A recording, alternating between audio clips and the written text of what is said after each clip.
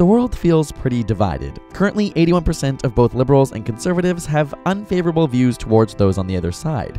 But is there actually a fundamental biological difference between liberals and conservatives? On the surface, we can see some funny differences like conservatives like meat and potatoes more, while liberals tend to like trying food from other cultures more. In general, conservatives prefer purebred dogs while liberals prefer mixed breeds, and liberals are okay with free verse poetry while conservatives prefer it to rhyme.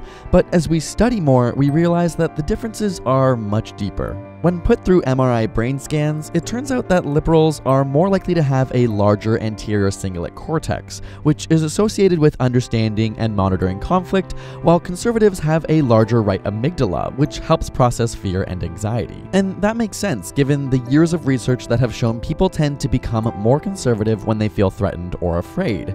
After 9 11, for example, the US became politically more conservative, with studies showing increased support for issues like national security and military spending. But studies have also found that conservatives and liberals employ different cognitive styles. Conservatives excel when it comes to more structured and organized problems or questions, whereas liberals tend to be more flexible and less likely to commit errors with questions involving conflicting information and requiring fast reaction times. One study looking at dorm rooms even found that, on average, conservative students' rooms were less messy than liberals. But they also experience pain in different ways, so much so that one study was able to predict who was liberal or conservative just by viewing brain scans of them looking at graphic photos containing mutilations. In this instance, liberal brains were more active in the S2 or somatosensory 2 region, which is normally activated when you're in pain, but also when you see someone else suffering. It's essentially scientific evidence for the bleeding heart liberal stereotype, which doesn't mean conservatives are uncaring, but that their minds just respond to graphic images differently. In America, this can explain how Democrats and Republicans perceive the world in fundamentally different ways. It's difficult to grasp how someone on the other side of politics thinks because we tend to overestimate the extent to which our opinions, beliefs, and values are normal. Psychologists refer to this as false consensus bias. For example, if you heard Yanny in the Yanny versus Laurel debate, it may have felt that you were the normal one and it was insane that anyone could be hearing Laurel.